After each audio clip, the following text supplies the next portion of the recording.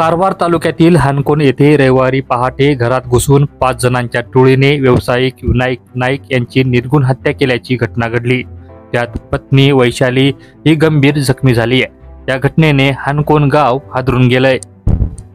विनायक नाईक हा पुणे येथे इलेक्ट्रॉनिक वस्तू विक्रीचा व्यवसाय करीत होता. हानकोण येथे आपल्या घरी जत्रेसाठी आठ दिवसापूर्वी तो आला होता. जत्रा संपल्याने आज रविवारी तो पत्नीसोबत पुण्याला जाणार होता. पण पहाटे अचानक पाच जण त्यांच्या घरात घुसले व विनायक यांच्यावर चाकू व लोखंडी सळीने हल्ला करून त्याला रक्तबंबाळ केले. त्यात विनायक यांचा जागीच मृत्यू झाला. तर विनायक यांची पत्नीवरही हल्ला केल्याने त्या गंभीर जखमी झाल्या असून कारवारच्या जिल्हा रुग्णालयात तिला उपचारासाठी दाखल केलंय. ही घटना सदाशिवगड चित्ताकोल पोलीस स्थानकात नोंद झाली असून विनायक यांचा खून करण्यामागचे कारण अजूनही स्पष्ट झालेले नाही. सध्या आरोपी फरार असून त्यांचा पोलीस शोध घेत आहेत.